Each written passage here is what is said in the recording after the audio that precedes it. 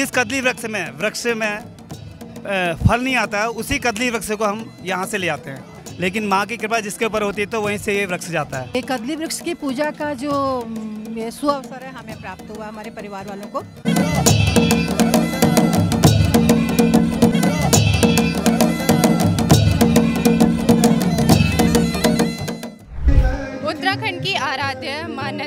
सुनंदा का आज 121वां शुभारंभ है।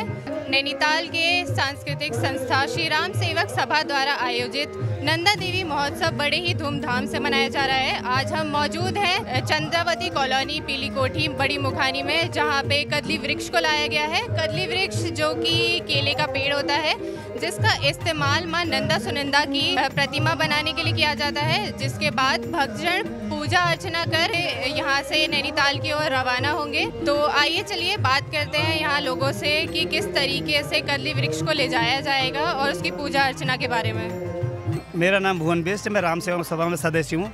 सबसे पहले मैं राम सेवा सभा की ओर से यहाँ पर चंद्रावती कॉलोनी में जब हम ये कदली वृक्ष लेने आए हैं, मैं इन सभी का हार्दिक स्वागत अभिनंदन करता हूँ। और एक सौ इक्कीसवा वर्ष हमारा ये नंदा देवी महोत्सव का है नैनीताल में। इसका चयन हम इसलिए करते हैं हम कई जगह चयन करते हैं। सबसे पहले हमने तीन चार जगह हमने चयन किया लेकिन माँ की कृपा जिसके ऊपर होती है तो वहीं से ये वृक्ष जाता है। और इन कदली वृक्षा का कदली वृक्ष यहाँ से जा, जाता है नैनीताल तो इन्हीं कदली वृक्षों की वहाँ पर मूर्ति निर्माण किया जाता है जिसे इसमें प्राण प्रतिष्ठा अभी यहाँ पर हमारे पंडित जी लोग आए हैं जो वहाँ पर बैठेंगे पूजा में इनकी प्राण प्रतिष्ठा करेंगे तो इसमें देवी का वो पूरा भरा जाएगा। तो इसकी भी कल पूजा होगी, यहाँ पर इसके बाद ये कदली वृक्ष को हम कल यहाँ पर दोपहर बारह बजे यहाँ से नैनीताल की ओर प्रस्थान करेंगे। वहाँ पर इसमें पूरे शहर में इसका नगर भ्रमण होता है, पूरे कदली वृक्ष होगा। इसमें कई हज़ार, कम से कम पंद्रह बीस हज़ार लोग उसमें प्रतिभाग करते हैं। पूरी उसमें, पूरी नैनीताल में घूमता है। उसके बाद माँ नैना के प्रांगण में कदली वृक्ष को रखा जाता है। कदली वृक्ष को रखने के बाद इसकी पूजा अर्चना की जाती है वहाँ पर। और उसके बाद इसको मूर्ति निर्माण दूसरे दिन मूर्ति निर्माण शुरू हो जाता है। बाईस तारीख को हमारा वहाँ पर मूर्ति निर्माण का कार्य शुरू होगा और तेईस को हमारी अष्टमी होगी। जो ब्रह्म मुहूर्त में हमारे चार बजे माँ के कपाट खोल दिए जाते हैं, सभी दर्शन वालों के, दर्शनार्थियों के लिए। और कम से कम इसमें चालीस या पचास हज़ार वहाँ पर दर्शनार्थी वहाँ पर से दर्शन करता है, पर डे। ये हमारा सत्ताईस तारीख तक वहाँ पर कार्यक्रम होगा। नौमी के दिन वहाँ पर विशाल भंडारा होता है हमारा नैनीताल में, बहुत डी एस ग्राउंड में। और उसके बाद, उसके अगले दिन हमारा सुंदरकांड का प्रोग्राम होता है तो देवी को रात की बारह बजे देवी भोग लगता है। प्रत्येक दिन देवी भोग लगाया जाता है। तो ये बहुत भव्य कार्यक्रम है। सत्ताईस तारीख को ठीक बारह बजे हमारे मूर्ति ने वहाँ से डोरे का हमें पूरे नगर में भ्रमण किया जाता है। पूरे नगर में भ्रमण करके छः बजे हम डोलों को विसर्जन करते हैं।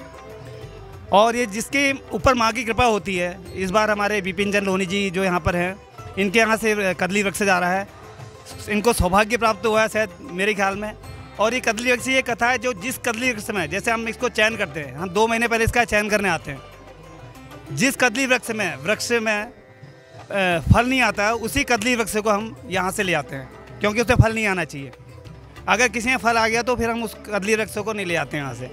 तो इसमें हम पाँच वृक्ष देख के गए तो तीन वृक्ष ऐसे थे जिसमें कदली वृक्ष नहीं था मतलब फल नहीं आए हुए थे। तो दो अभी हमारे पास ऐसे वृक्ष हैं जिसमें भी फल नहीं आया हुआ। तो उसी से मूर्ति का निर्माण किया जाता है। ये हर जगह पूरे उत्तराखंड में इसकी मान्यता है कि पूरे उत्तराखंड में चाहे अल्मोड़ी की नैना देवी हो या नैनीताल का हो, महोत्सव हो तो ये सब जगह देखा जाता है। मेरा नाम खसरी लोहनी, मैं दिल्ली से आई हूँ और ये मेरे जो ये आयोजन है, मेरे जेठ जिठानी के घर में हो रहा है और ये कदली वृक्ष की पूजा का जो ये सुअवसर है हमें प्राप्त हुआ हमारे परिवार वालों को तो इसके लिए हम बहुत बहुत भगवान के शुक्रगुजार हैं कि ऐसा सुअवसर हमें भगवान ने करने का मौका दिया है और इतने हमारे परिवार के सदस्य को एकत्रित होने का मौका दिया है। तो कदली वृक्ष की पूजा होती है इसकी नंदा सुनंदा बनाई जाती है तो हमने आ, सुना था।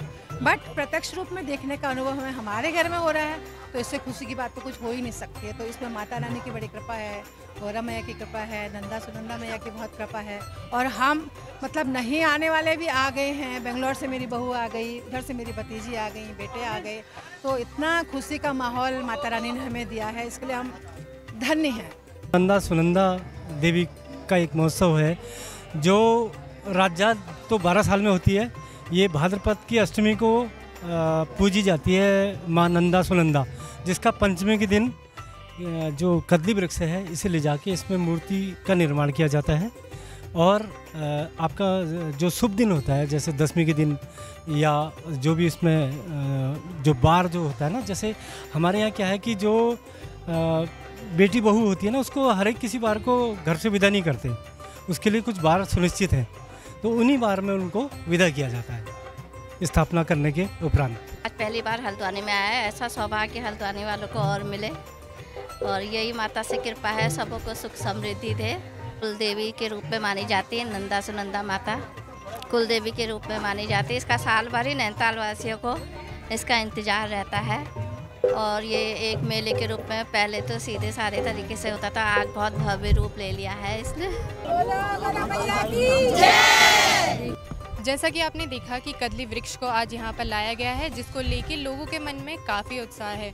और कल कदली वृक्ष को लेकर लोग भक्तजन नैनीताल की ओर रवाना होंगे, जिसके बाद कदली वृक्ष से ही माँ नंदा सुनंदा की प्रतिमा बनाई जाएगी। न्यूज़ टुडे नेटवर्क से खुशी लोहनी।